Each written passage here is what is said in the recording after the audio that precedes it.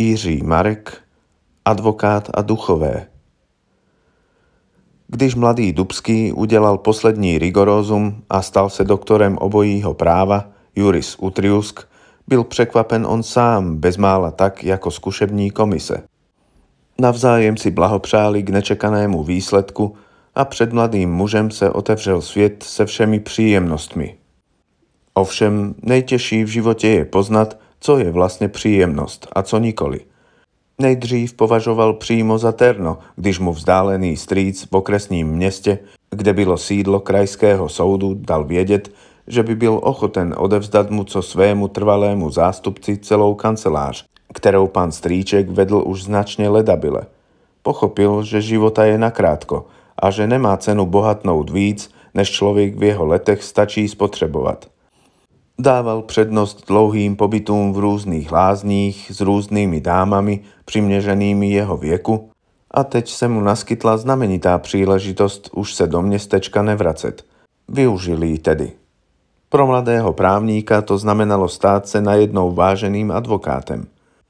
Když nastoupil v oné malé a už skomírající kanceláři, zjistil, že užívat života znamená v tomto prostředí procházet se důstojně po korze a prohlížet si místní dívky. Zkoumal do nekonečna jejich vzhled i možnosti finanční a proklínal osud, jenž ho zahnal do téhle díry. Navíc zjistil, že mnoho věcí ve svém oboru vůbec neví. Například netušil, co je vodní právo, ale teď v kanceláři zdědil nádherný případ dvou mlínů, které se soudili už tři generace o vodu. I musel se dodatečně pohroužit do studia – také se ukázal být naprostým lajkem v oboru drobných urážek, z nichž právě malá kancelář pana Strýčka byla obstojně živa. Mladý a ctižádostivý advokát se znovu učil paragrafům, aby všechny zděděné případy dovedl ke zdárnému konci. Naštěstí ho včas upozornila slečna nádherná, což byla sekretářka a něco jako kus nábytku v té starobilé kanceláři, že je to nesmysl, že musí studovať právo právě z opačného pohledu, aby spor pokud možno vydržel. Doktor obojího práva Dubský by byl dal přednost spíše nádherné slečně před slečnou nádhernou, ale v znalosti práv se od ní musel ještě mnoho učit a taky tak učinil.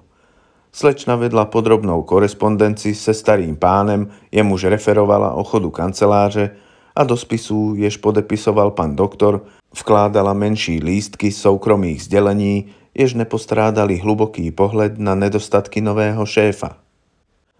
V městečku byli ještě tři advokáti. Měli velké kanceláře s koncipienty a patřili k honoraci. Mladý doktor se k této honoraci zatím mohl jen přibližovat. Vniknout do ní mohl však jen sňatkem, politickou kariérou nebo advokátským věhlasem – to poslední, jak pochopil, mu zůstane odepřeno. Tři generace trvající spor o vodu nemohl dodat věhlasu ani soudnímu praktikantovi a nějaké to zlomené žebro při tancovačce či vzájemné nadsti utrhání dvou trhovkyň, jak by smet.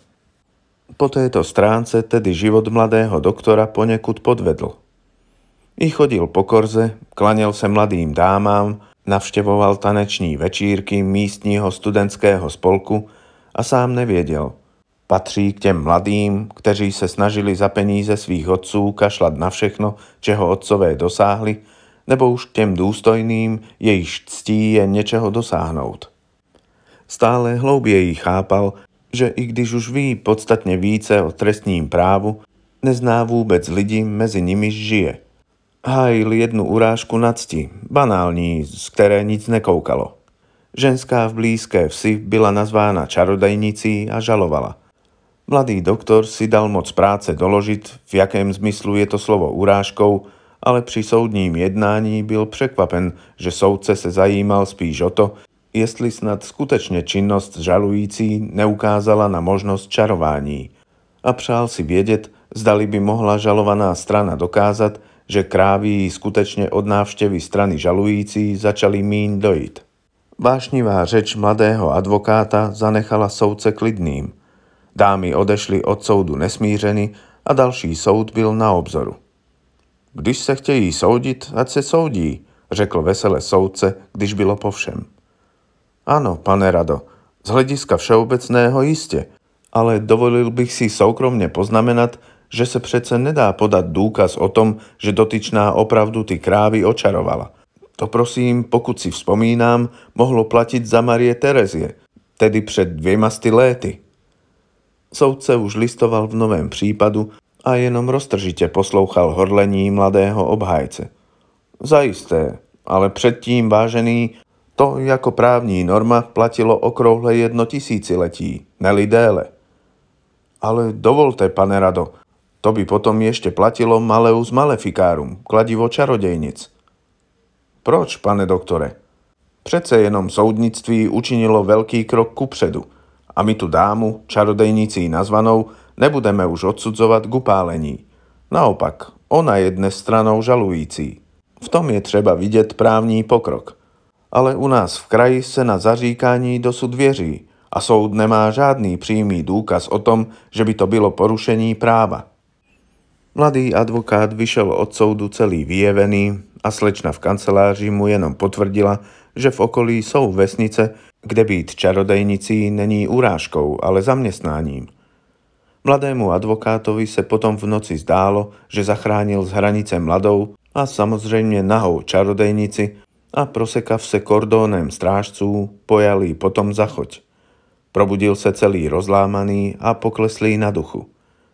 Musím vyrazit do Prahy. Strýček dobře ví, proč jezdí do lázní. Když se po dvou dnech vrátil příjemně unaven, dověděl se, že se v okolí stala jakási vražda, ale moc se o ní nestaral, protože vraždy seberou zavedení advokáti, co mají své kanceláře na náměstí. K svému úžasu se brzy dověděl, že advokátní komora ustanovila v tomto případě pana Strýčka obhájcem ex ofo. V dôsledku nemoci stanoveného obhájce není námitek, aby obhajobu obžalovaného Václava Burdy, obvineného z vraždy, převzal ex ofo jeho trvalý zástupce, pan doktor Dubský. Mladý muž se odstl na vrcholu blaha. To byl jeho první velký případ. Byla to porota a o té se bude psát v novinách.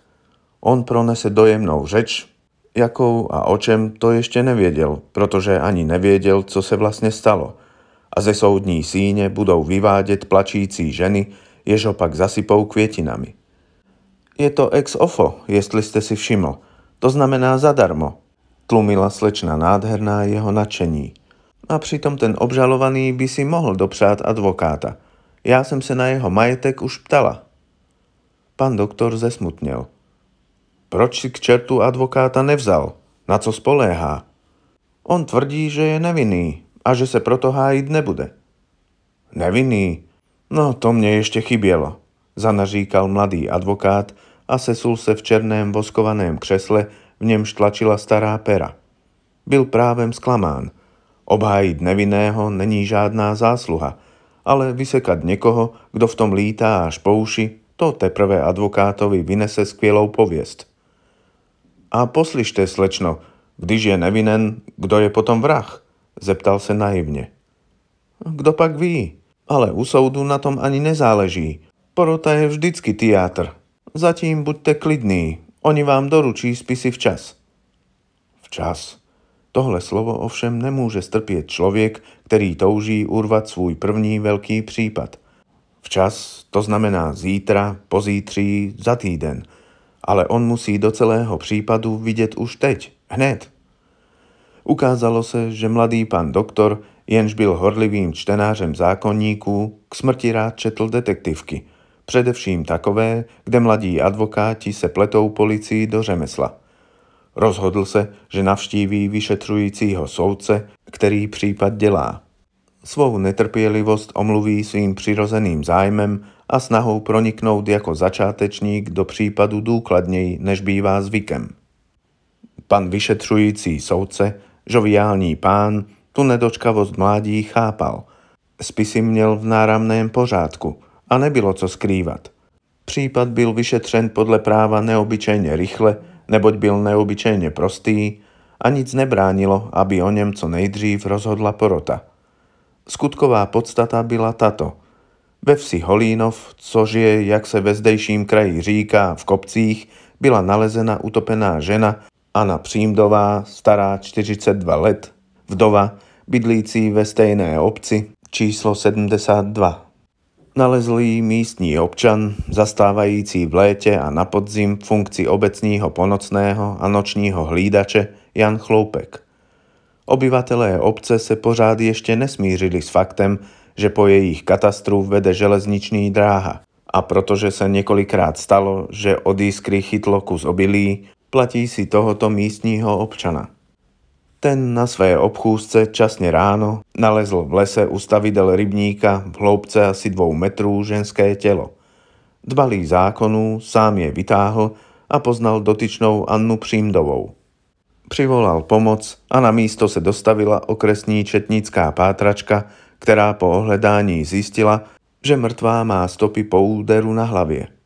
To potvrdila pitva, která zjistila, že dotyčná byla udeřena tvrdým tupým předmětem do zadní strany lepky a že jí tím byla způsobena fraktura klenby lebeční. Stratila vědomí a teprve poté byla hozena do vody, tedy ještě žijící, jak ukázala při pitvě analýza dýchacích cest a plic. Smrt nastala utopením a zcela jednoduše šlo o vraždu. Mladého právního zástupce, obšírnost spisů a nešikovný sloh v jakém se vyjadřovala četnická pátračka, poněkud rozčilovali. Ale co můj obviněný, prosím, vyhrkl. Hned k němu dojdeme, o tom máme tady hleta lejstra, usmál se starý soudce. Prosím, vračte číst, pane doktore. Pohovory v obci samé u místních lidí se zjistilo, že mrtvá udržovala delší dobu intimní vztah k místnímu občanu a majiteli usedlosti číslo popisné 123 Burdovi Václavovi. Býval s ní nejednou výdán mimo obec v polích a u lesa, někdy i za večera, a jeho manželka potvrzuje, že sama slyšela řeči o tom, že její muž má styky s Anou Přímdovou. Také obvinený Burda nepopírá, ale naopak to přiznává. To máme tadyhle, prosím – Komplikace, jež ovšem obvinenému neobyčejne přitěžuje, je v tom, pane doktore, že ona mrtvá, potažmo zavraždená, byla v jiném stavu. A to zhruba čtyři měsíce. O důvod více se jí zbavit, nezdá se vám? Advokát povzdechl. Ano, tohle je zatraceně přitěžující okolnost. Ovšem nehodlal se vzdát tak snadno. Kolik má obec obyvatel? Řekněme 300 a víc, ne? Je tak docela jasné, že ta mrtvá neměla styk s nikým jiným? Že příčinou její smrti mohl být skutečně jenom Burda? Starý soudce se laskavě usmál. Podívejte se, pane doktore, když četníci najdou takovouhle dokonalou souhru, ani je nenapadne pátrat dál. To za prvé. Za druhé bych nepátral ani já sám, protože je to úplně jasné. A Burda nemá vůbec žádné alibi? On a jeho žena tvrdí, že byl doma, ale to je taky všechno. Nikdo další to potvrdit nemůže. A on sám samozřejmě čin popírá. No prosím. Jenomže to nic neznamená. Obyčejný člověk někdy lže tvrdohlavě i tehdy, když je věc nad slunce jasnější. Já měl jednou případ krádeže. Pachatel byl na místě činu viděn, doma se u něho pak ukradené prase našlo ale on nepřestával tvrdit, že neví, kdo mu ho do chlívka strčil. Tak jsem mu dopřál takového přepichu, jako je daktyloskopie. Otisky na zámku souhlasili z jeho. A co byste řekl? Nejen, že se trval na svém, ale i veřejné mínění se obrátilo proti soudu. Něco, co vůbec není vidět, má člověka přivést do kriminálu. Svědek, který napřed říkal, že pachatele viděl, své tvrzení odvolal. Jo, já ty lidi znám. Já jsem sám z té vesnice v kopcích. Je to zvláštní lid. Pane Rado, já mohu mít s prominutím milenku a ona se mnou může být v jiném stavu, ale samo o sobě to neznamená, že jsem jí zamordoval. Zajisté, ale nebudete se patrně divit, když budete mezi podezřelými. Jenže můj klient není mezi podezřelými. On je obviněn. O jeho vině hovoří i svědecká výpověď ponocného. Zde prosím. Jan Chloupek, místní občan z Holínova, číslo popisné 64, bez zemek, 35 let starý, ve smluvním pracovním poměru na obci jako noční hlídač sděluje, že dne 6. září v pozdních nočných hodinách viděl ženskou postavu mířící od vsi k lesnímu rybníku. Poznal v ní Annu Přímdovou. Nebylo mu nápadné, že v noci chodí po vesnici, protože ji takhle výdal častěji, a to ve vztahu k Václavu Burdovi.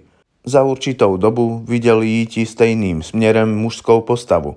Pohybovala se neobyčejně rychle a lehce. Nejprve se dotyčný svědek ulekl. Napadlo ho, že je to světlík.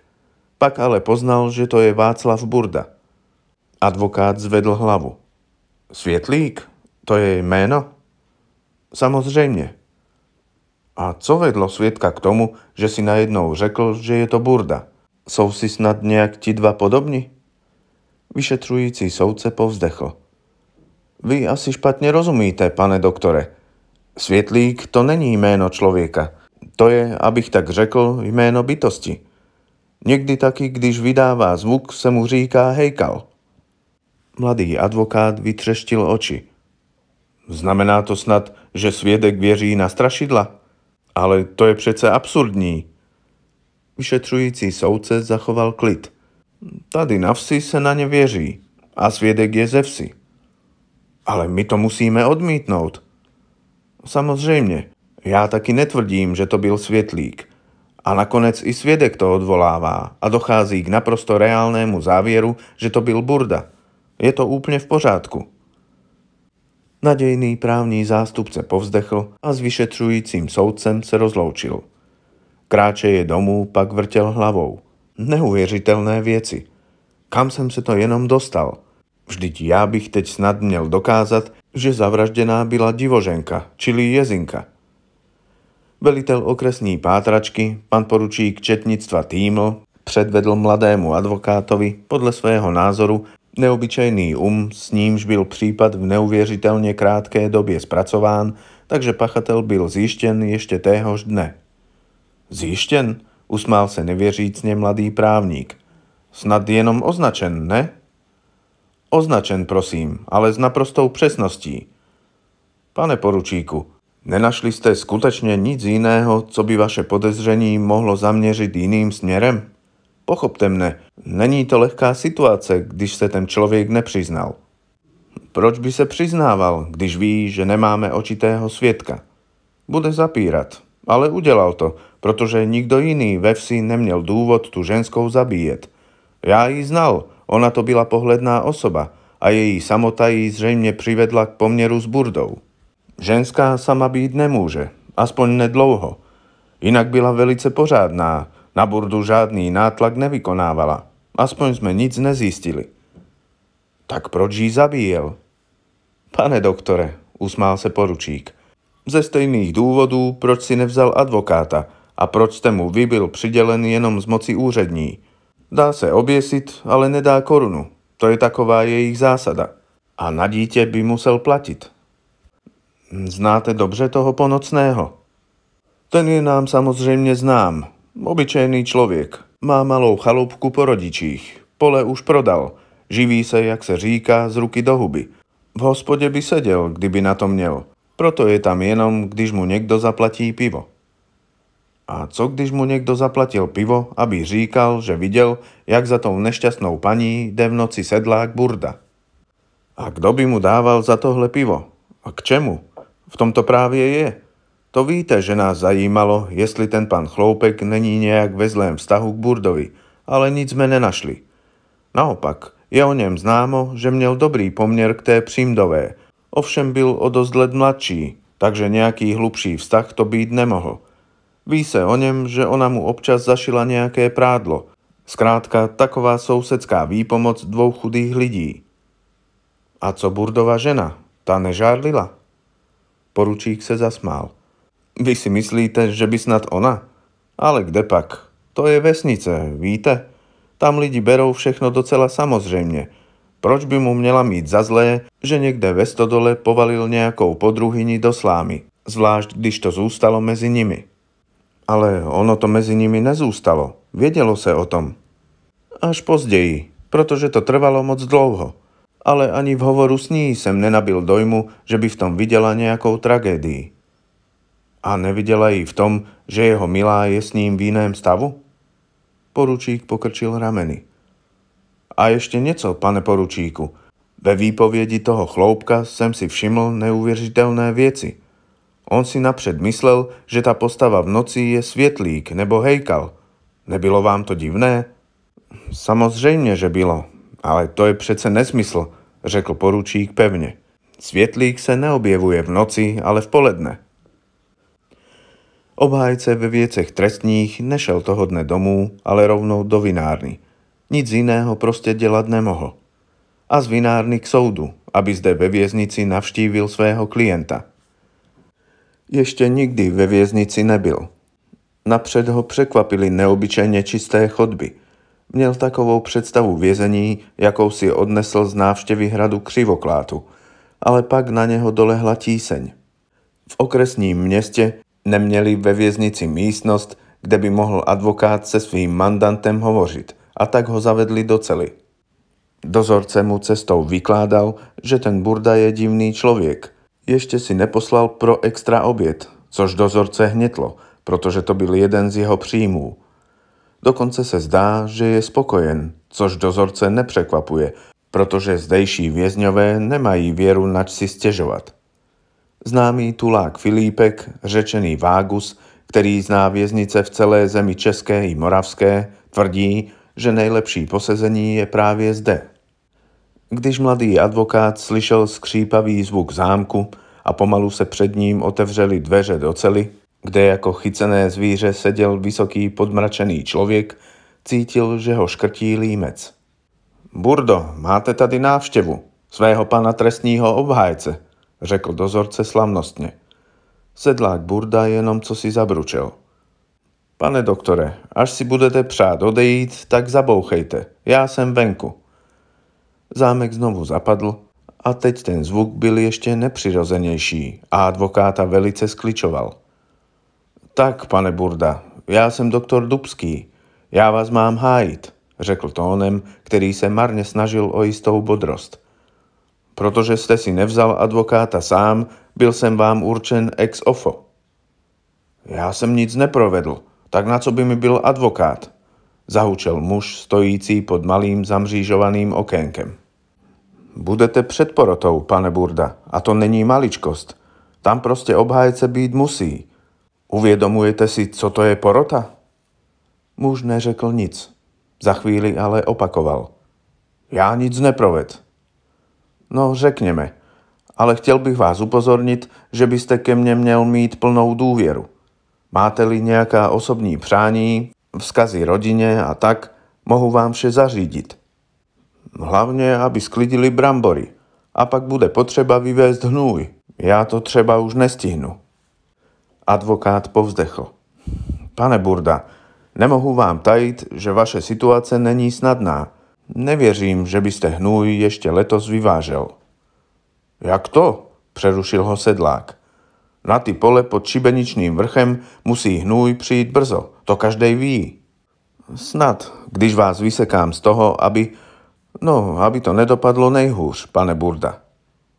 Řekl to tak úmyslně, Popouzel ho ten netečný sedlákův klid. Burda pootevřel ústa, co si zamručel, ale kromě toho, že se nepatrně předklonil, nebylo na něm vidět, že by ho to nějak zvláště zdrtilo. Jenom v jeho očích zasvítil strach, takový, jaký cítí zvíře, když sklapne past. Jste obviněn z vraždy. Jestli porota většinou hlasů řekne, že jste vinen, pak to bude zlé, pane Burda. Já vás samozřejmě i ex ofo budu hájit, jak nejlíp budu umět, ale musíte mi říci všechno, co se stalo, tak jako při spovědi. Musím znát celou pravdu, abych mohl lépe mluvit. Chápete? Mladý advokát byl ještě naivní. Nevěděl, že obhájci se lépe mluví, když pravdu nezná, protože mu nic nesvazuje ruce. Kdyby zde byl pan Strýček, řekl by mu, že jeho největším případem byla obhajoba jistého žháře, jehož omylem hájil jako vraha. Několik členů poroty si tehdy muselo utřít slzu a muž byl osvobozen. Tak vy tedy tvrdíte, že ste tu ženu nezabil, řekl advokát přísne. Na mou duši ne. Ale jestli dovolíte, pane doktor, co to je to? No, jak říkáte, že mne musíte hájit. Ex ofo? Z pověření soudu, z povinnosti úřední, prostě zadarmo. Teď se sedlák vylekal. Co? Zadarmo? To vám jako nic nemusím platit? Ne, uklidněte se, docela nic. A proč byste teda mlátil hubou u soudu za nic? Mladý obhájce povzdychl. Taky ho ta svatokrádežná myšlenka už napadla, ale vždycky ji statečně odehnal. Jsou lidé, kteří nemají na advokáta, ale musí být hájeni. Spravedlnost si toho žádá a pro takové případy je tu obhájce z moci úřední. Ale já nejsem chudej, pane doktor. Já jsem jenom nevinnej a jako nevinnej si nechci brát žádného advokáta. Já chci domů a oni mě musí pustit, vykřikl sedlák. Jenže oni vás nepustí. Pochopte to. Přišli vám na tělo vraždu. A za to je buď smrt nebo doživotí, pane Burda. A když to všechno moc hezky dopadne, tak 20 let, nebo nakolik vás to nakonec vyjde, když se spočtou všechny polehčující okolnosti. Sedlák si nyní sedl. Pod jeho telem chatrná stolička zapraskala. Já nic neudělal. Prosím vás, řekněte mě na svou čest a svědomí. Utopil jste ji? Strčil jste do ní a ona tam spadla? A proč bych jí tento? Ježiš Maria, ja to ani vysloviť nemôžu. Ona, Anna, byla pěkná ženská, taková podstatná a já jsem s ní bejval rád. Byla s vámi těhotná? Sedlák se podíval na advokáta nechápavě. To nevím, ale byla se mnou široká. To tedy byla, protože mi to řekla. Ale to je přece totéž. Zkrátka čekala s vámi dítě. Nebál jste se toho? Proč bych se měl bát? Nakonec, kdyby to byl kluk, tak mohl být jednou u mne. Já bych někoho ke koním vždycky mohl potřebovat.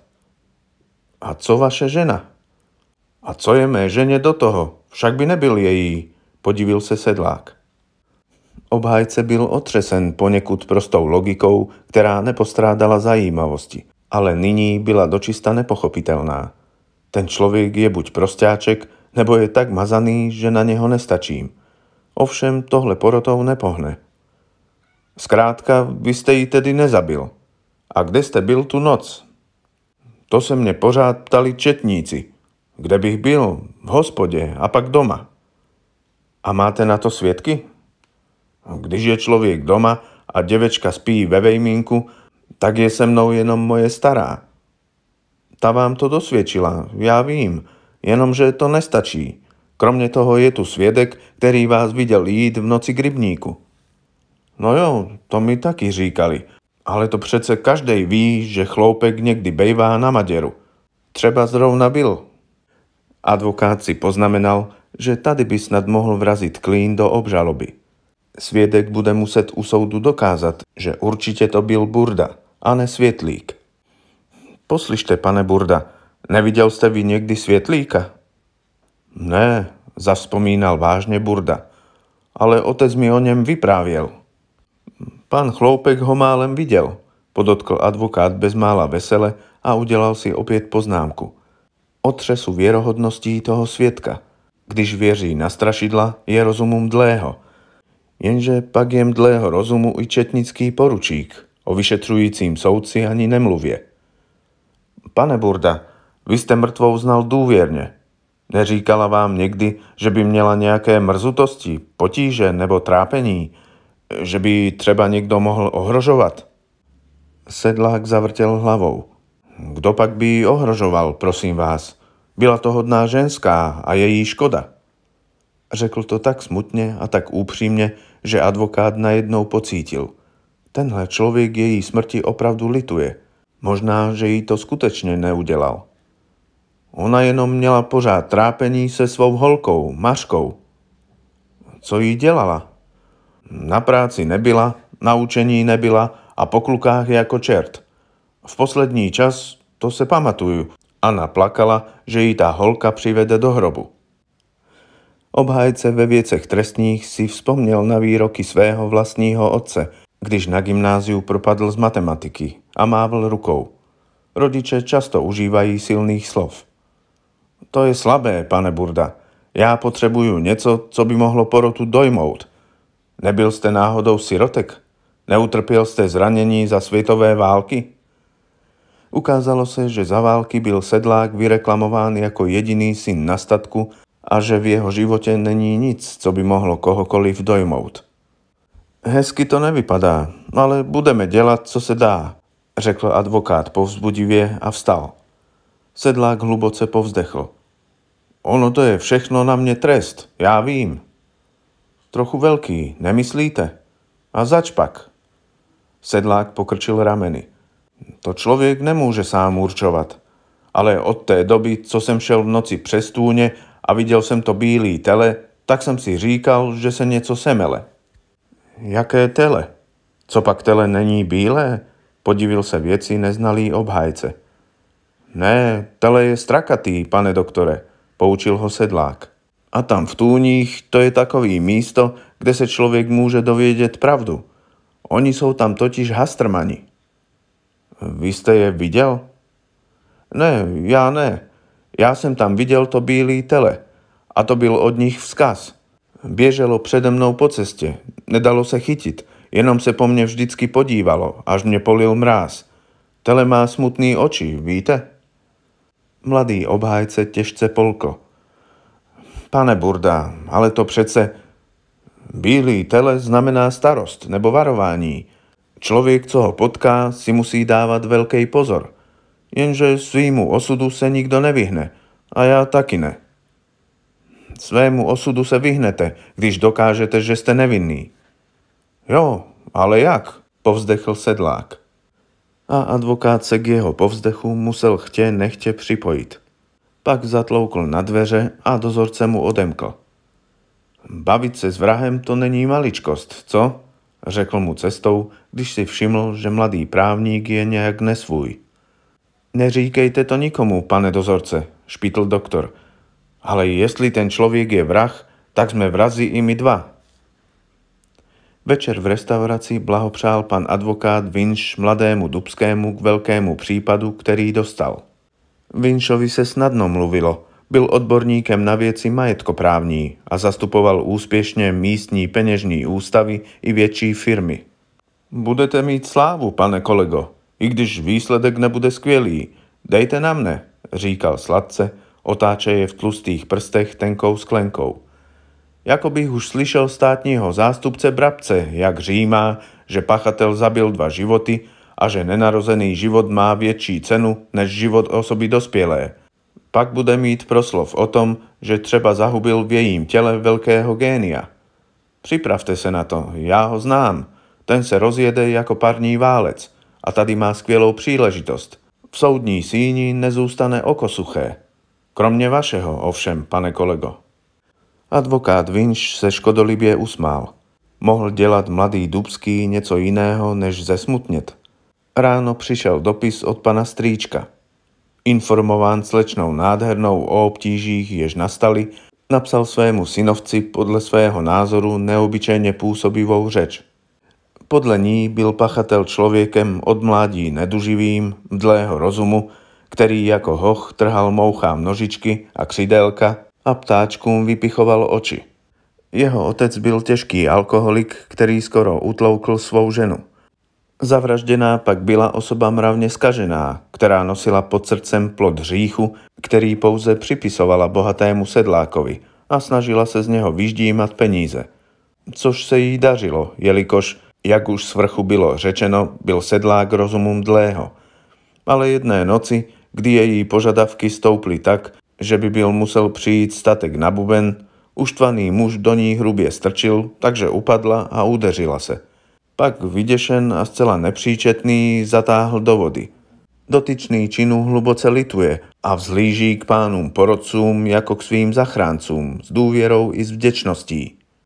Bylo to neobyčejně působivé, ale nebylo to pravdivé a to mladého a neskušeného muže popouzelo. Pane doktore, to je krásná řeč, řekla slečna nádherná. Kdyby byl pan Strýček napsal, byla bych ji našla. On už tohle jednou proslovil. Je to asi 20 let. To byl trochu podobný případ. Tehdy žena zabila svého muže, protože pil. Já myslel, že byl těhotný, zasyčel pan doktor a vyskočil. Pochopte prosím, že tohle já říkat nebudu, protože dělám svůj první velký případ a nechci lhát. Ale jak toho člověka potom obhájíte, to nevím, řekla slečna nádherná mrazivě. Podívala jsem se do spisů. Vy jako obhájce nemáte nejmenší naději. I když je ten člověk nevinný. Slečna se zasmála. Taková maličkost porotu obyčejně nezajímá. Pan Strýček vždycky říkal, že porota je rodu ženského a taky se jí vždycky bál.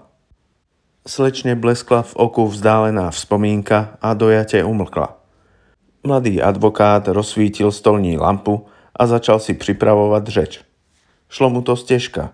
Spoléhal samozrejme, že si definitívní znení připraví až v závieru přelíčení. Nepochyboval, že státní návladní taky udělá nejakou chybu, již by obhajoba mohla využít. A teď se pokoušel jenom načrtnout základní koncepci – Čas rýchle plynul, noc se překláněla ke kalnému ránu a mladý obhájce cítil, že to hlavní, to jest něco dojemného, pro porotu nemá. Ale čím více listoval ve spisech, tím silnější měl pocit, že je nesmysl obhajovat muže, který nic neprovedl a že by bylo mnohem lepší otevřít celý případ z jiného konce. Existoval ještě nějaký člověk, který by mohl mít zájem na smrti nešťastné ženské? Co to říkal sedlák Burda o její dceři? Jestli pak by se na vesnici o tom všem nevědělo víc. Ale jak to vypátrat od lidí, kteří věří na hejkali a jim se zjevuje smrt? Když bylo ráno, rozhodl se doktor Lubský k neobyčejně odvážnému činu. Kdyby se sám vypravil na vesnici, sotva by to mělo nějaký efekt. Lidé už vědí, kdo je a nic by mu neřekli. Tady je potřeba udělat něco jiného. Bude to stát sice peníze, ale ať. Mladý obhájce byl v této chvíli přesvědčen, že když už hájí zadarmo, může si dovolit ještě další vyloženou ztrátu. Pro klid svého svědomí. Na poště zrovna otvírali, když nedočkavě vtrhl dovnitř a žádal telegrafní blanket. Večer se objevil v městečku pán v rozšafném starobilém svrchníku a tmavou buřinkou na hlavě. Byl to policejní inspektor ve výslužbě, nyní majitel soukromé detektivní kanceláře, pan Mrázek. Přijel bez svého zázračného psa, který už trpěl těžkou dýchavičností. Pan Mrázek byl však ještě křepký. Plně využíval své trpělivosti, již se naučil ve službách pražské čtyřky. K tomu, že sledoval nevěrné paničky a obstarával důvěrné reference od peněžných ústavů. Někdy také pátral po neznámých pozůstalých, což mu všechno docela příjemně dávalo zapomenout, že už je v penzi. Pane inspektore, řekl mu slavnostně doktor ve své kanceláři, máme zatraceně málo času. Skoro bych řekl, že žádný, protože zítra začíná proces a podle toho, co vím, nebude moc dlouhý. Je to všechno jasné jako facka. Přečtěte si tadyhle spisy a já vám pak řeknu, co od vás potřebuju.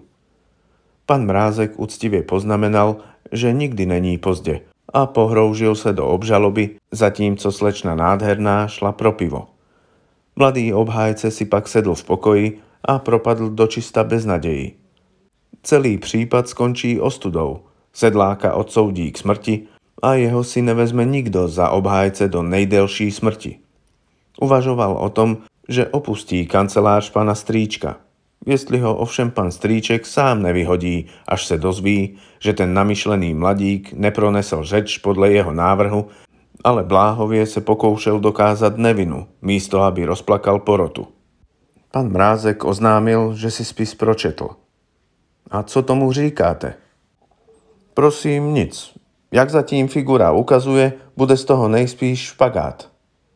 Mladý muž chmurně přikývl. A jinak nic?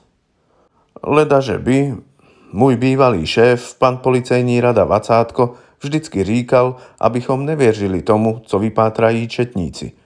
Kdybychom vyšli z téhle poučky, tak bychom se na to mohli podívat z druhého konce. Vidíte, a o ten konec mi jde, pane inspektore. Četníci šli najisto a správně po člověku, který s ním měl poměr a který ji přivedl do jiného stavu. Ale musel to být on? To je teda faktotum, pane doktore, to nemusel. Ale kdo by to mohl být? V tomhle potřebuju vaši pomoc. Podívejte se, když tam do té vsi půjdu já, tak si lidi zamknou na deset západů, protože nikomu z města nevěří a nejmíň lidem od policie, od soudu a tak. A mezi ty patřím i já, s tím se nedá nic dělat. Já potřebuju, aby tam do té obce šel někdo, kdo je tady cizí a kdo se umí ptát. A to vy přece umíte. Mně se nelíbí, jak málo svědků vede žalobce. On si je zkrátka jistý. Obhajoba je na tom taky tak, jenže já nemám nikoho, kdo by tomu Burdovi chtěl pomoci. Ti lidi mlčí. Jeho manželka, kterou vedu já, by se nakonec mohla svědectví zříci. A pak máme jejich služku, ale to je hotové dřevo a kdo ví, co mi nakonec v tom zmatku před krucifixem pomotá. Pan Mrázek si pomalu nadspával fajfku. Já vám rozumím, pane doktor. Vy byste rád něco jako rešerši, že jo? Já bych nejradši našel nějakou skulinu, abych dokázal, že obžaloba má vratké základy. Já bych potřeboval aspoň dosáhnout přerušení celého řízení. Já vím, že se to nepovede, ale ať už tam zjistíte cokoliv, já to všechno použiju. Pan Mrázek se dal poučit, kde ta vesnice je a jak se tam dostane. Dvě stanice lokálkou a kousek přes les. A ještě něco. Věříte na duchy? Zatím jsem jaksi neměl příležitost. Tak jí mít budete. Já zítra zasednu u soudu a do večera čekám od vás zázračnou zprávu. Do večera to třeba nebude, ale něco přinesu. Jak na to tak koukám, ono se na to bude muset polehoučku. Druhý den začalo u krajského soudu přelíčení. Odpolední zahájení bylo sice jako vždy nudné, protože se četly nezajímavé a všem známé věci, ale soudní síň byla plná a předseda soudu se v duchu radoval z té krásné návštěvnosti. Obžaloba i obhajoba zachovávali posupné mlčení. V případě mladého obhájce to byla spíše starost, co asi dělá pan Mrázek a jestli nesedí v hospodě, místo aby pilně scháněl zprávy. Naivní mladík netušil, že na vesnici se bez hospody nedá udělat vůbec nic. Pan Mrázek se po zralé úvaze rozhodl, že bude zástupcem dřevařské firmy a bude schánět dřevo. Půjde o dlouhodobou dodávku, kterou on zatím jenom smluví. Kromě toho se bude zajímat o koupi nějakého pozemku, protože jeho závod by si chtěl zřídit na mírném svahu vzornou lesní školku na okrasné stromy – Možná, že to byla pitomost, ale tohle mu dá možnost navštěvovat jednotlivá stavení. Během dopoledne si otevřel v hospodě docela slušně fungující kancelář. Lidi se trousili, když počáteční nedůvěra byla prolomena a když všem bylo jasné, že není od soudu a že o tom případu, co se tady stal, docela nic neví a ani vědět nechce. Za to se moc zajímal o to, proč lidi odmítají těžit dřevo v úseku řečeném v tůních a dověděl se, že tam jsou hlavně z jara silné mokřiny, takže jsou tam od nepaměti hastrmani. Někdy v noci je slyšet, jak naříkají, že mají málo vody, ale za to z jara je tam veselo a hastrmanky pečou při měsíčku chleba. Ve vsi ještě žijí starší lidé, kteří od nich kus chleba dostali a byl to mokrý krajíc a celý zelený od plísně. Pan Mrázek naslouchal a divil se. Sám pak přičinil poznámku, že on na svých cestách taky už lecos zažil. Lidé mu na oplátku řekli, že svět je možná veliký, ale tady na jejich vsi, že se taky dějí věci. Například dneska je ve městě soud s jedním zdejším sedlákem, co zabil svou milou. Pan Mrázek připustil, že je to hrůza, ale že by mu spíš šlo o to dřevo. Odpoledne ho pak sám Hostinský vodil po vesnici, kde by možná byli ochotní prodat kousek pole na tu školku okrasných lesních stromů. Úředník od té dřevařské firmy na nikoho netlačil, měl času dost. Tu a tam utrousil dobrou radu, aby si to každý pořádne rozvážil. Když prodá pozemek poblíž chalupy, mohlo by se to brát jako stavební místo a cena by byla mnohem vyšší. A protože nic tak lahodne nezní selskému uchu jako řeč o penězích, byli mnozí veľmi ochotní jednať s ním večer v hospode a třeba i zítra. Do večera viedel pán Mrázek mnohem víc o poměrech ve vesnici než o dřevie. O tom ostatne neviedel nic. Hovořil sice o plnometrech, ako by to byl jeho denní chleba, ale měl o tom představu dost mlhavou. Zatímco pan Mrázek nádherne lhal, mladý obhajce cítil, jak se kolem hrdla jeho klienta zadrhuje smyčka, protože obžaloba byla vypracována z profesionální zručností. A bylo vidět, jak na tváři porodců se usazuje výraz mravního rozhorlení. Oddechl si, když předseda soudu dnešní zasedání ukončil. Proces byl tak jasný, že by mohl skončiť do večera, což ovšem nebylo možné s ohledem na veřejnost i vážnost soudu. A tak soud přerušil své jednání a páni porodci vyšli z budovy a kolem jejich skrání přímo vířila představa, že nyní oni naplní lidskou spravedlnost. Lidé jim úctivě ustupovali z cesty. Mladý obhájce pohovořil se svým mandantem, ještě než ho dozorce odvedl do vedlejší budovy trestnice. Je to hrůza, pane doktor, řekl unaveně sedlák, jemuž teprve teď při tom strašně slavnostním zasedání a pomalém čtení došlo, že věc je mnohem horší, než byl ochoten věřit. Já jsem vám to přece říkal, pane Burda. Ale hlavu vzhůru, uděláme, co budeme moci. Najel jsem si zvláštního pracovníka, který mi snad přinese zprávy. A vy sám ho budete platit. No, nic jiného mi nezbývá. A vy byste mne nemohl hájit za peníze? To bych jistě mohl, ale nemyslete si, že vás potom spíš obhájím. Jak vidíte, dělám, co mohu, bez ohledu na peníze. Já vím, vzdechl obžalovaný. Já vím, ale kdyby se se mnou něco stalo, proč byste měl být vyškodný, ne? Já bych to vzal na sebe. Mladý advokát si pomyslel, že to je první úspěch a dal klientovi podepsat novou plnou moc. Bylo potešující, že i ten člověk si všiml jeho úsilí. Snad si ho všimne i soud a porota. Zítra bude svědčiť vaše paní, připomněl. Co pak svědčiť? Hlavně, aby vyvezla hnůj, řekl opravdově sedlák Burda a pak ho dozorce odvedl do jeho cely. V ten čas zjevil i pan Mrázek veľké starosti o problémy zemědělství a hovořil tak nadšene o budoucí školce ozdobných stromů, že se v duchu sám musel pokárat. Co když tomu někdo z těch lidí rozumí líp než já? A že tomu může rozumět každý druhý líp než on, to byla bohužel pravda. Použil ochotných služeb místního hostinského a zamířil k stavení, o němž se už dneska v poledne dověděl, čí je. Tam bych ani nechodil, tam bydlí jenom ta holka, dcera té zabité, co je skrz ní ve městě soud, varoval Hostinský. Aha, a ten zdejší sedlák za to bude vyset, vzpomněl si pan Mrázek. To už je tak, když se člověk dostane k soudu. Kdyby byl nevinen, tak by ho nevěšeli, řekl pan Mrázek moudře. Když on s ní držel, povzdechl hospodský. Za to se snad nevěší. On to dostane za to, že ji zabil. Jestli ji ale zabil, zapochyboval Hostinský a zastavil se, aby mohl líp přemýšlet. Já vím jen jedno. Ten večer byl u mě v hospodě a pak šel domů, a ne k rybníku, protože to by musel na druhou stranu vsi. Tak byste měl svědčit u soudu, vykřikl nadšeně pan Mrázek. Muž se zdesil. Já? To teda nikdy. Vždyť je to hamba. Ze mne by u soudu nedostali ani slovo. Já bych si nic nepamatoval. Tohle jsem si mohl myslet, povzdechl si pan Mrázek a řekl. Já bych si tu chalupu ale rád prohlédl.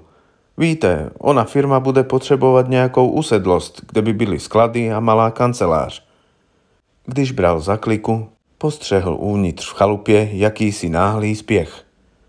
A když vstoupil do světnice, byla tam mladá holka sama a dívala se zvědavě a ulekane ke dveřím. Byla to holka dosť nehezká, ale nápadne vyvinutá, když uvážíme, že letos vyšla školu. Figuru měla jako mladá ženská. Zapínala si honem jubku a na kamnech stála horká žehlička. Několik kusů šatů vyselo přes židli. Pan Mrázek zašmejdil očima po světnici a byl by přísahal, že za pootevřenými dveřmi do vedlejší místnosti někdo stojí, protože je vidět v té škvíře stín. Sama doma, slečinko, zahlaholil. Já jsem od dřevařské firmy a zajímám se o pozemky. Ale vy, jak tak koukám, jste ještě mladá, abyste mohla mluvit o prodeji. Já nevím, řeklo děvče a usmálo se. Já si žehlím šaty. No jo, mladá pěkná dívka, ta si potrpí na parádu. Já jdu zítra k soudu, řekla nikoliv bez píchy. Aha, tak to teprve nebudu zdržovat. A je vám smutno, když jste sama, co? Je. Ale nemluv, zahučel u dveří hostinský. Jak tě znám, tak ti brzo otrne. Holka našpulila pusu, jako by na hostinského chtěla vypláznout jazyk, ale netroufala si. Pan Mrázek se vědoucně usmál. Mladé stvoření to samo dlouho nebývá, že? Tak my zase půjdeme. Naschledanou, slečinko. Když byli venku, řekl hostinský. Je přihlouplá. Ženské odjak živa říkali, že byla podstrčená. Od koho? Vyjevil se pan Mrázek. Od koho? Od polednice, nebo tak. Že by tady ženské věřili ještě na polednice? Zapochyboval pan Mrázek. A co by nevěřili? Kdybyste šel k staré dejmce, tá by vám to vyložila, řekl hostinský přesvědčeně. Hm, jenomže mne zajímá spíš dřevo, usmál se pan Mrázek. Pak se na cestě zpět zeptal, kdo to je stará dejmka a kde bydlí. Večer musel posedět v hospodě, kde se mluvilo o dříví i o té vraždě, a protože ten pán, co dříví kupoval, měl už tady plno známých, tak se mluvilo jinak, než když jsou ve vsi četníci. O vině Burdově většina lidí pochybovala. A přitom bylo jasné, že ho v tom docela klidně nechají, protože je to jeho osud. A člověk se svůj osud může dovědět leciak, třeba u Hastrmanů v Túních. Ti vědí všechno. Nebo taky může počkat na šibeničním vrchu o půlnoci a když si třikrát plivne přes levé rameno, zjeví se mu dušička nějakého oběšeného. Pro pana Mrázka, který věřil akorát na věštění z karet, to bylo nejen překvapivé, ale i skličující. Hlavně to, že tihle dobromyslní strejcové, kteří se tak dovedou bavit v hospodě, jsou v podstatě k osudu člověka krutě hostejní. Když se potom vracel přes les k stanici, ohlédl se k domku, kde dneska byl, a byl by přísahal, že tam viděl nějakou postavu, jak se kradla pryč. A taky se tam myhlo něco bílého. To mohla být ženská v košili, nebo s ohledem na zdejší zvyklosti divá žínka. Pan Mrázek se otočil, ten mužský se dal do běhu a zmizel. A starému inspektorovi nezbylo, než přidat do kroku. Kvůli vlaku samozřejmě, ne ze strachu, který ho najednou v zádech zamrazil. Druhý den přelíčení byl, jak se patří, boužlivý, ale mladý obhájce tím nebyl nijak překvapen. Jednak to čekal a jednak byl v noci informován panem Mrázkem. V duchu se radoval. Jeho tah požádat o pomoc starého inspektora se ukázal zcela správný. Alespoň ví víc, než obžaloba tuší. A to nejcennější je, že může, a on to taky udělá, vést další svědky, i když nebudou vypovídat příliš přesvědčivě. Dovede je aspoň otázkami k tomu, aby přiznali, že nejsou o vine sedláka Burdy přesvědčeni. Zajímavé, že obžaloba dnes povede jako svědka neplnoletou dceru zavražděné. Pan státní návladní si zřejmě nedá ujít skvělý trumf. Pláč nad dítětem sotva škole odrostlým. A potom hned pláč nad nenarozeným. Tady nezbude nic jiného, než se k tomu nářku páně žalobce přidat a opakovat jej. S malou odchylkou. Ten pláč nechť padá na hlavu pachatelovu. Ale to není v tomto případě hlava obžalovaného. Čí hlava to je, mladý obhájce nevěděl a bylo mu to taky jedno. Ovšem byla to aréna a v ní dva bíci. Oba viděli jenom dopředu a moc věcí kolem je nezajímalo. Jedním byl s prominutím pan státní návladní, který se opíral o zjištění četnické stanice a viděl před sebou vraha, jehož dovést na šibenici považoval za svou úřední povinnost, a ten druhý, stejně zaslepený, byl mladý advokát, který viděl jedině nevinného a považoval za svou čest to dokázat, či aspoň otřást jistotou žaloby. Ve hře bylo 12 smutných mužů, kteří dneska ráno jsou přesvědčeni, že Burda je vinen, zatímco bude uměním obhájcovým, zítra je v této víře zvyklad. Pan Mrázek se ráno vrátil do vesnice, aby pokračoval ve svém jednání o dříví a ovšem hlavně o jiných věcech. Bylo mu jasné, že jestli doktor Dubský oznámí soudu další svědky, pak bude s jeho posláním konec a on se tady nesmí nikdy objevit. Zbývalo mu jenom málo času. Ze všech lidí ho teď nejvíc zajímali dva. Ten muž, který se v noci kradl z chalupy, kde bydlí nedospělá dcera, a pak ona žena, kterou jmenoval Hostinský, stará dejmka. Sloužili ve vsi jako doktor, ví asi víc než ostatní. Jít za takovou ženskou ale není snadné a pan Mrázek naladil svou tvář k nejbezelstnějšímu úsměvu, jakého byl po dlouhé praxi u policie schopen. Paní Dejmková, jak ji úctivě oslovoval, mu byla doporučena mnoha lidmi v obci, švitořil pan Mrázek. Je, jak se tady říká, nad doktory a tu ji chtěl požádat o pomoc. Jako starší člověk cítí občas prudké ujímání, jež mu brání ve výkonu služby a na něž mu doktoři dávají medicíny, jež jsou všechny houbec platné. Už jeho maminka říkala, že na lidské nemoci jsou jenom bylinky. Ale kde je v Praze vzít, že? Babka nebyla příliš řečná a nebyla, jak se zdálo, taky nijak žhavá zvětšit svou klientelu. A co oni po vsi hledají? Viděla jsem jich tady šmejdit včera celý den. Pátravý zrak té babizny se zabodl do pana Mrázka a on cítil, že mu vidí hloub než pod kůži. Rozhlédl se kolem sebe, jako by se chtěl ujistit, že jsou tady opravdu sami a řekl Paní Dejmková, já bych vám taky mohl říkat, že tu jsem skrz dříví, ale já vám to povídat nebudu, protože vy jste moudrá ženská. Já jsem vlastně od policie. Já jsem tady kvůli sedlákovi Burdovi, který teď dole ve městě pomalu, ale jistě dostává pro vás na krk. A to není maličkost, vidíte. A já se chci vás pozeptat, co o tom všem víte. Samozřejmě to koření, paní, to bych opravdu potřeboval, ale to necháme až na potom, že? Babka se nepatrně usmála, cáhla do trouby a vytáhla nádherný hrnec kafe, jež se rázem lahodně rozvonilo po její nevlídné a tmavé sednici a přistrčila mísu buchet. Tak se napíte a vemte si něco zakousnout. Udělal jste dobře, že jste mi nelhal, řekla o poznání vlídněji. Vám jsem si to zkrátka netroufl, přiznal se bez mučení pan Mrázek a napil se s chutí kafe. Když odstrčil hrneček, zeptal se. A vy, paní Dejmková, věříte, že to udělal Burda? Kdo pak vidí do lidského srdce, milej zlatej, povzdechla babka. Ale spíš bych řekla, že ne. On se asi moc bál, že se jí to narodí, co? A víte, že ne? Protože to by byla Anna jako přímdová za mnou běhala pro koření. Ono to na začátku někdy pomáhá. Ona to s ním chtěla mít a ona si taky, protože děti se svou ženou neměl a to je mužskýmu vždycky líto. Tohle je u soudu ale ten hlavní důvod, že se jí chtěl zbavit, vykřikl pan Mrázek. Stará se usmála. Jo, u soudu. Co pak tam? Lidi jsou hloupatí, víme. Ale jak říkám, do člověka nikdo nevidí. Jenom hastrmani v tůních, podotkl pan Mrázek. Kdo chce vidět hastrmany, ten je vidí, co by ne. Tam v tůních je pusto a člověk tam přijde na jaký myšlenky.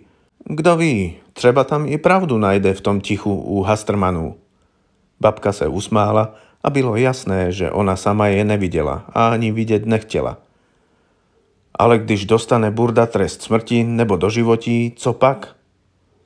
Trest je trest. Ten člověk musí přijímat, jak ho pán Bůh dá. Však on svatý nebyl a za ty slzy své ženy, jako Anešky, musí trpět. Ta se ke mne nachodila. Mrzelo ji, že jí muž běhal za Annou. Já se jí nadávala něco laskavce a kontrihelu. To je moc dobrý na usnutí. Dobrá, pani Dejmová, já vám rozumím. Ať si to burda odtrpí. Jenomže jestli to neudělal, pak tu někde bude běhat vrah a tomu se nic nestane. A to by jako podle mého být nemělo. No, nemělo, to ne, připustila babka. Tedy mezi náma, ona za mnou Anna v poslední čas taky byla, ale ne pro sebe. Ona měla velký trápení s holkou, ta se jí nepovedla. No a nedávno chtěla pro dceru kožení, že prej ta její žába v tom je. Představte si, takový hůdě. Ale koření nepomohlo. Pan Mrázek zamrkal. Nepomohlo? To znamená, že vždyť ona je ještě dítě. Ale mrcha, už chtivá mužského. A s kým, prosím vás, to má? Stará pokrčila rameny. Jo, to mě Anna neřekla, ale věděla to. Mozek pana Mrázka byl vycvičen dávat okamžitě do souvislosti věci, jež k sobě zdánlivě nemuseli patřit. A první myšlenka, jež ho napadla, byla. Věděla to a aby to nemohla říci, musela umřít. Opravdu proto? Nakonec se tady taková věc tragicky nebere. Dcera vdovy, která sama nemá nejlepší pověst, se dostane do maléru a to není nic hrozného. To není selská dcera, která se musí bohatě vdát. Jenže té holce je jenom 14. Ten, co jí to udělal, má na krku řádný kriminál, i kdyby dokázal, že holka za ním sama přišla. Strach. No ovšem, strach zo study je na vesnici silný. Věděli to dvě, dcera a matka. Teď už to ví jenom dcera. Bude mlčet? A nebo bude taky umlčena? Pan Mrázek se zatvářil starostlivě. Babka mu nasypala do malého sáčku koření. Vonělo a suše se drolilo v prstech. V soudní síni bylo v ten čas živo. Korespondenti byli spokojeni. Souboj obžaloby a obhajoby byl zajímavý. Napřed se zdálo, že se vlády v soudní síni ujme definitivně státní návladní.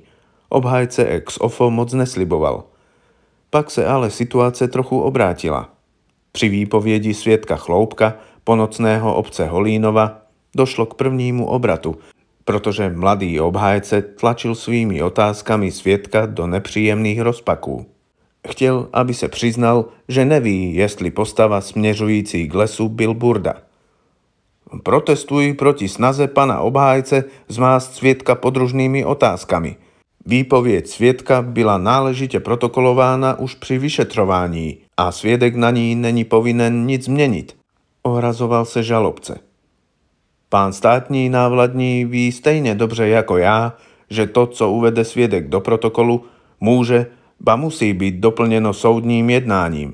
Jinak bychom zde nemuseli být a obžalovaný, v našem případě nevinný, by mohl být potrestán na místě samém, jak to bývalo možné někdy v pradávných časech. Horlil pan obhájce, dávaje si záležet na každém slově. Pan předseda soudu nabádal oba pány k pořádku a žádal je, aby se vrátili k věci. Leč věděl, že tak neučiní a chápal je.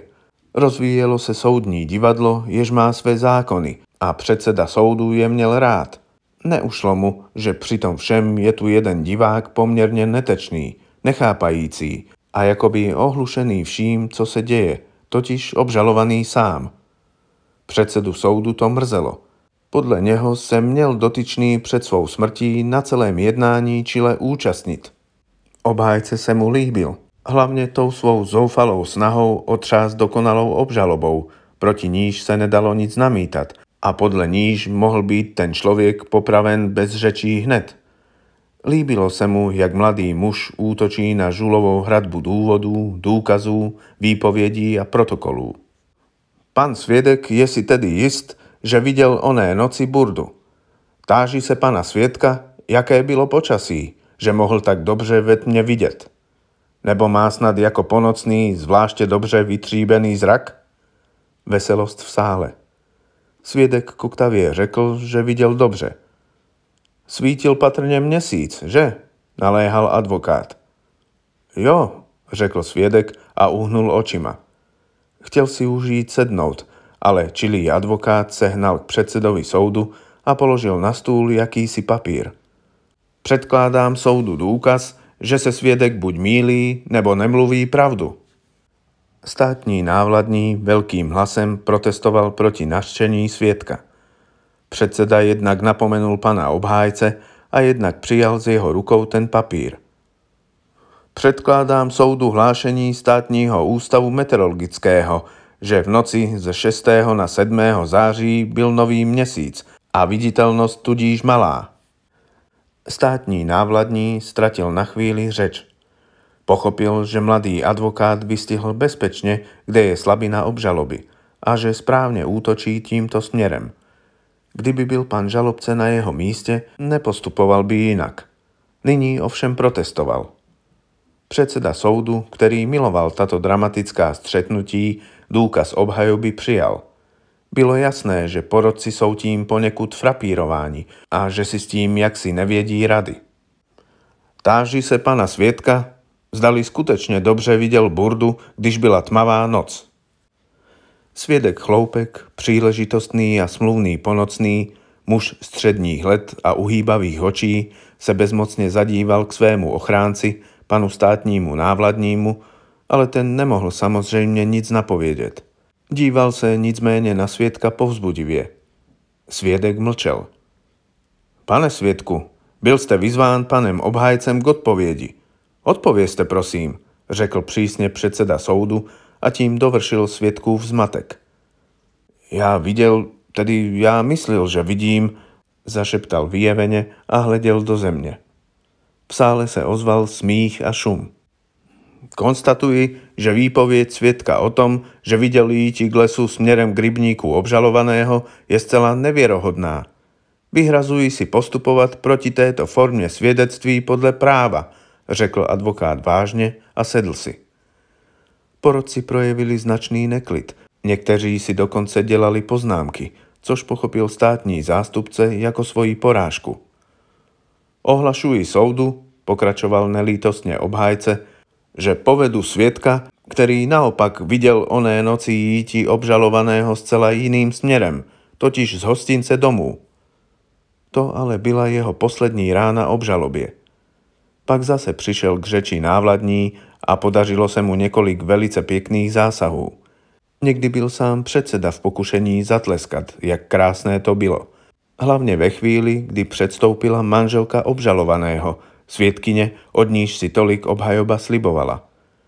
Nechtěla svému muži přitěžovat, ale po několika chytrých otázkách pana návladního se prožekla, že dotyčná mrtvá byla potvora, která rozvracela její manželství a připustila, že manžel mohl mít touhu se takové osoby zbavit.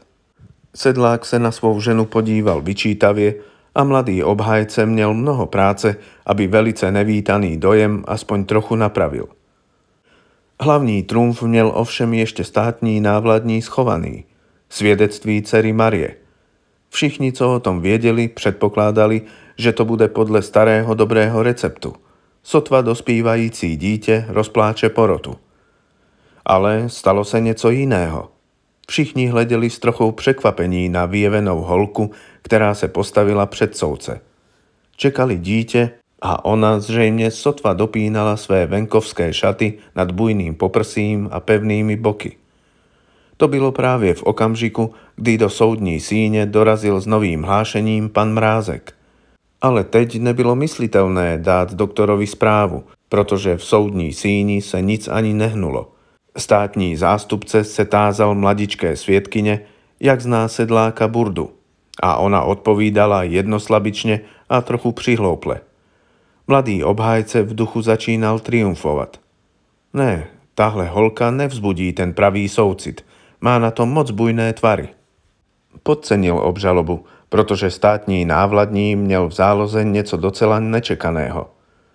Vypovězte, jak jste se dověděla o smrti své matky. Ráno. Přišli lidi a volali a já jsem se vzbudila. Napadlo vás, že to vaší mamince mohl udělat obžalovaný Burda?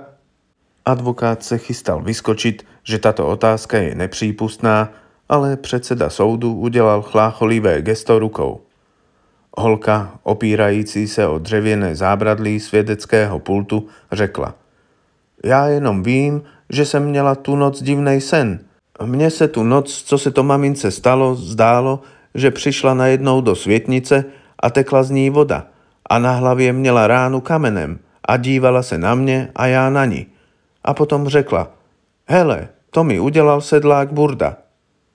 V soudní síni zavládlo mrazivé ticho. Advokát chtěl vyskočit, ale najednou nemohl. Díval se s úžasem na tu přihlouplou vyvinutou holku a cítil totéž, co ostatní. Obešla ho jakási podivná hrůza, něco neuvěřitelného, co nebylo z tohoto světa. Státní zástupce došel k svědeckému pultu a odvedl děvče na její místo. Měl smysl pro efekty. Na lavici svědků jí udělal místo po nocných chloupek. Teprve nyní se vschopil mladý obhajce. Pane předsedo, já protestuji. Tohle je nepřípustné ovlivňování soudu. Soud si sám vybere za svědectví to, co uzná za správné, řekl poněkud zmateně předseda. V síni propukl šum, lidé se začali asi přijít a dohadovat a předseda zvonil, aby bylo ticho. Porodci úžasle hleděli na to děvče. Soud přece nemůže připustit výmysly na dospělé svědkyně, volal obhájce. Obhajoba nabízí vědecký důkaz o tom, že sny nemohou znamenat ani vzdáleně jakýkoliv ohlas skutečnosti. Dítě bylo ovlivněno tím, co slyšelo a přimyslelo si k tomu sen. V té chvíli se stalo něco, co nečekal ani předseda soudu. Na lavici svědků povstal Jan Chloupek a hledě kam si stranou řekl. Já chci mluvit, prosím. Předseda soudu mu pokynul, aby šel blíž.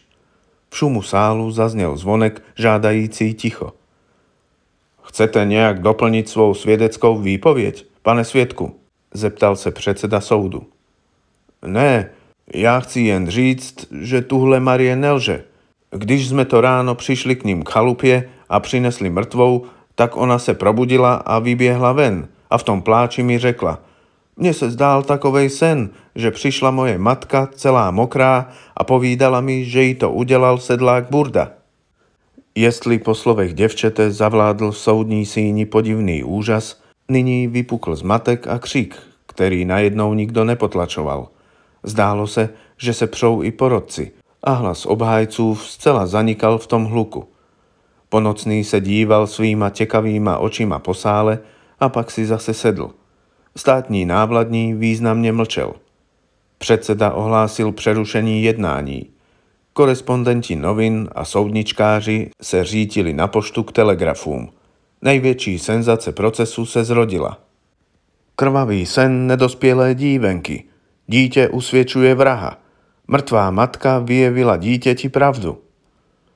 V nastalém zmatku se protlačil pan Mrázek k lavici obhajcově – byl jsem tady, pane doktor, a všechno jsem slyšel. Je to hrozné, zaúpěl mladý muž, kterému se nyní všechno vymklo dokonale z rukou. Naopak, jak to říkaval náš pán rada, jde nám to náramně do figury, prosím. Okamžitě běžte za předsedou soudu. Žádejte lékařskou prohlídku té holky. Ona je v jiném stavu. Vy jste se zbláznil. Ba ne, můžeme dokonce vést svědkyni ale doktor to pozná i bez ní. Vy myslíte, že těhotenství má vliv na její duševní soudnost? Ale Ježíš Maria, vždyť ta holka je pod zákon. No právě. To bylo to trápení, které s ní měla v poslední čas její matka. Rozumíte? A kdo, kdo jí to udělal? To nemohu zatím sloužit, ale ona to řekne, když se na ní uhodí. Za to dám krk. Ten, s kým to má, to je ten člověk, co měl důvod zbavit se její matky, protože tato věděla. A taky mě napadá, že možná teď by mohla přijít na řadu i holka sama. Obhájce uchopil pana Mrázka křečovitě za rukáv a pak ho už vlekl sebou k předsedovi soudu. Ale pan Mrázek se mu vytrhl a vmísil se mezi dav. Dal přednost sledovat mladičkou svědkyni a dívat se, s kým mluví a jestli ji nikdo neradí, aby zmizela. Byl to prostě už jeho zvyk. Když predseda soudu vyslechl pana obhájce, dočista zbledl. Víte, co to znamená, pane doktore? Řekl bych, že ano. Zastavení procesu, vrácení vyšetřujícímu soudci a nový proces. To ale bude hrozná ostuda, zanaříkal dobrák předseda. Poněkud menší, než kdyby porota prohlásila vinným nevinného burdu.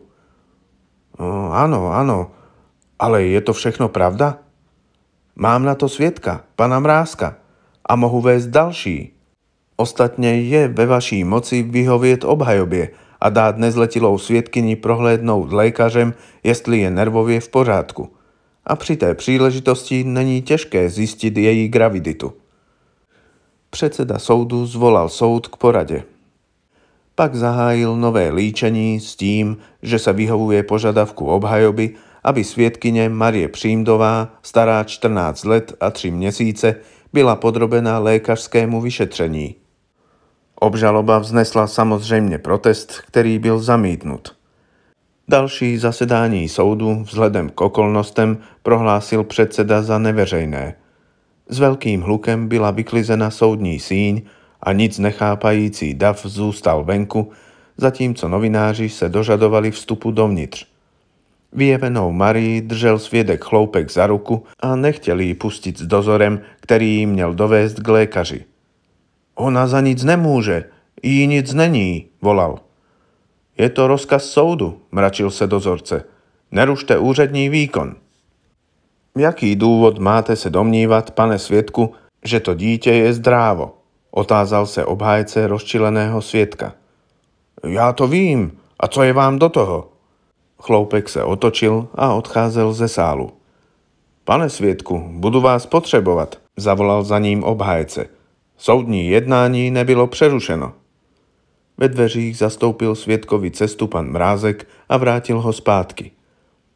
My jsme se přece už viděli, ne? řekl sladce. Dnes v noci jste odcházel od Marie Přímdové. Proč pak jste přede mnou utíkal? Co mi chcete, člověče? vykřikl chloupek. Já vás neznám. Pan Mrázek jenom pokrčil rameny a ukázněně opustil soudní síň, protože ani on neměl nyní přístup. Neveřejné přelíčení bylo poměrně krátké. Doktor vypověděl, že nemusel konat žádnou prohlídku. Holka se mu rozbrečela, jak jí řekl, aby se svlékla. Přiznala se, že je v tom a bez velkého zdráhaní řekla, kdo je otcem. Předseda soudu dal pak v soudní síni zatknout dosavadního svědka Jana Chloupka, 35-letého smluvního hlídače obce Holínov, bytem tamtéž, pro zločin násilného smilstva a uvaliť na neho vazbu, aby bylo vyloučeno další ovlivňování neplnoleté Marie Přímdové. Pak bylo jednání prohlášeno za veřejné a předseda soudu ohlásil, že soudní líčení proti Václavu Burdovi přerušuje, protože soudu byly předloženy nové, dosud neznámé skutečnosti. Nové vyšetření případu se svěřuje patřičným orgánům. Novináři se znovu řítili k poště, aby dodali svým novinám novou, ještě senzačnější zprávu. Kolem mladého obhájce klapali aparáty a blízkalo magnézium. Pan státní návladní mu přišel stisknout ruku. Pane kolego, udělal jste spravedlnosti neocenitelné služby a právem vám náleží obdiv. Samozřejmě, že státní zastupitelství dá souhlas k propuštění Václava Burdy. Nové vyšetřování se bude dít ze zcela jiného pohledu. Netušil jsem, že výpověď té dívenky to tak změní. Řekl to při vší profesionální žoviálnosti značně teskně. Výpověď té holky, pane doktore, řekl potom pan Mrázek mladému obhájci, když spolu večeřeli, nešetříce vínem, vám pomůže ještě v jednom punktu. Já ji slyšel a ona byla, doufám, přesně zaprotokolována. Ta holka doslova řekla, že matka měla na hlavě ránu kamenem. Že ta rána je od kamene, věděl ale jenom chloupek. Pane Mrázek, chtěl bych mít váš mozek, řekl mladý muž obdivně. Jezus kote, to není mozek, pane doktore, to je jenom dlouholetý zvyk. Pak šli spolu na nádraží a zatímco čekali na vlak, zahleděl se pan Mrázek na obzor, kde se tyčila silueta modrého špičatého kopce. Jo, To je šibeniční vrch. Ten je zrovna nad Holínovem, řekl. A jaké se nad ním honí šmouhy? Asi přijde sníh. Kde pak sníh, pane Mrázek? To jsou dušičky oběšených. Oni se tam v noci sletujou, řekl mladý obhájce ve věcech trestních zasvěceně. Pan Mrázek byl celkem rád, když v dálce zahoukal vlak.